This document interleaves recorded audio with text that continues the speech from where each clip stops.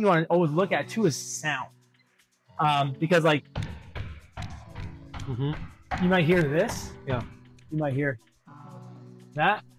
You might hear almost no sound. Yeah. Right. You want to be able to see what kind of sound you're hearing. Now, uh, what that tells us how much how much vertical force they're landing. So how much impact and how abrupt of impact they're taking on mid. Mhm. So that'll give us an idea, right?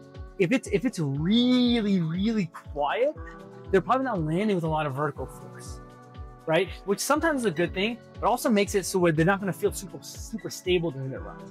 So like a lot of vertical, a lot of really loud sounding kind of steps.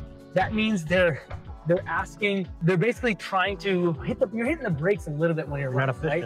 Yeah, you're, Yeah. you're trying to hit the brakes a little bit, right? Uh-huh. The brakes are not necessarily a forward brake; it's a vertical brake. Okay. Because if I don't hit the brakes on someone in my body, I'm just going to collapse to the ground every Yeah. single time, right? So how are they hitting the brakes? Are they barely even like pushing the brakes at all? They're running like this, Mhm. or are they hitting the brakes really hard? So either way is gonna it's gonna be tough because if, if I'm super quiet, I you don't usually don't have the vertical ground force reaction capability to Mhm. go faster. But if I'm landing really hard, then I don't have the vertical ground force capacity to uh, lighten my load, and that usually leads me to wearing out my brakes faster. Okay.